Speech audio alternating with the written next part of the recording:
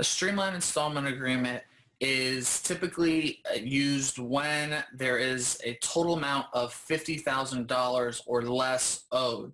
Uh, this allows us to set up a payment arrangement with the IRS for an amount that's under $50,000 and possibly spread that out over 72 months or six years as long as the taxpayer agrees to have that money automatically debited out of their bank account. Uh, what this allows also is for us to get some type of payment arrangement with the IRS set up without submitting any financial information of the taxpayers. Uh, this streamlined installment agreement allows uh, the IRS liability to be resolved in a little bit more of a quicker fashion than if we do have to gather and submit uh, the taxpayer's financial documents.